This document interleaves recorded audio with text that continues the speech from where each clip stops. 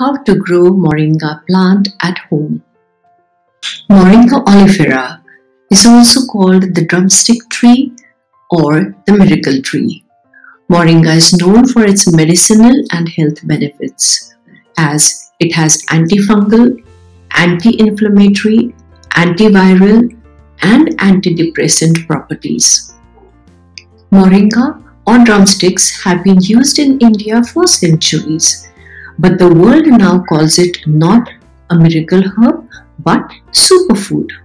The leaves of moringa plant are powdered and added to tea and coffee to be used in many classic recipes of main dishes and condiment.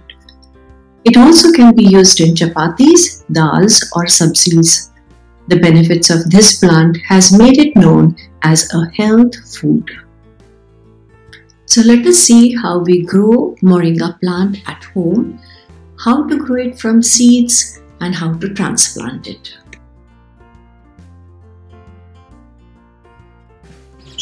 This is 3 month old sapling which we transplanted on 11th of April and then we had the first trim on 18th of July and you can see it till 18th of August what is the progress.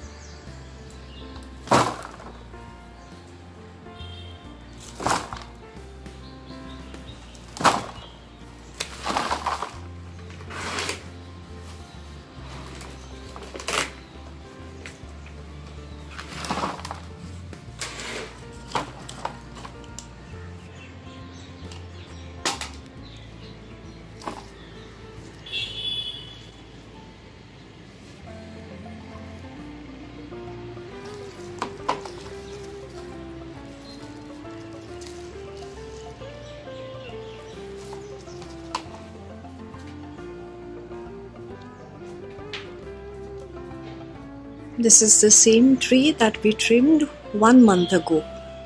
That was on July 18th. Today is 18th of August. You can see the new shoots that have grown. I had two saplings. This one is the first one. And this one is the second one. This one has not really grown that much in that one month. But then it depends from sapling to sapling.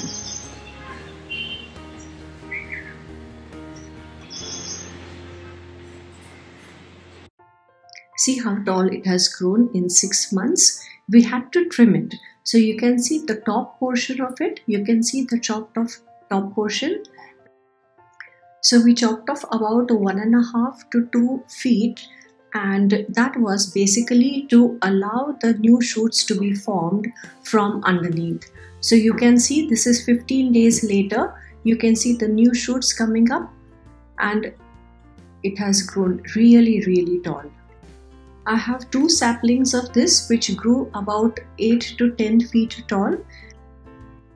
When we trim the moringa tree, do not throw the leaves. The leaves can be used for making a powder of it or you can make moringa soup or you can make moringa vegetable.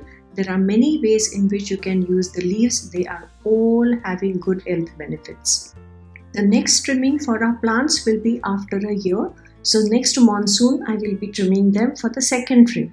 So it will grow a little wider because it is still in the big pot on my terrace.